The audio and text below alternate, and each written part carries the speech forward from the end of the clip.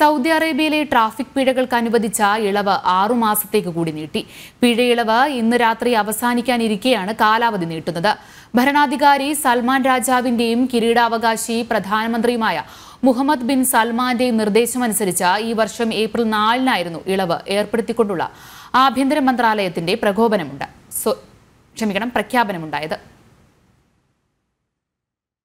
സൗദിയിൽ ഗതാഗത നിയമലംഘന പിഴകൾക്ക് പ്രഖ്യാപിച്ച ഇളവിന്റെ കാലാവധി ആറ് മാസത്തേക്ക് കൂടി നീട്ടിയതായി ആഭ്യന്തര മന്ത്രാലയം അറിയിച്ചു. ഏപ്രിൽ പതിനെട്ട് വരെയുള്ള പിഴകൾക്ക് അൻപത് ശതമാനവും അതിനുശേഷമുള്ളവയ്ക്ക് ഇരുപത്തിയഞ്ച് ശതമാനവുമാണ് ഇളവ് ലഭിക്കുക.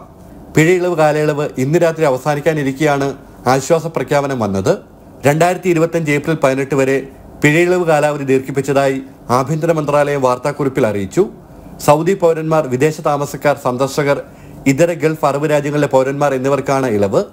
പൊതുസുരക്ഷയെ ബാധിക്കുന്ന കേസുകളിലും റോഡിൽ വാഹനം ഉപയോഗിച്ച് നടത്തുന്ന അഭ്യാസം ഓവർടേക്ക് അമിത വേഗത തുടങ്ങിയ ഗൗരവ കുറ്റങ്ങൾക്ക് ചുമത്തിയ പിഴകളിൽ ഇളവ് അനുവദിക്കില്ലെന്നും അധികൃതർ വ്യക്തമാക്കിയിട്ടുണ്ട്.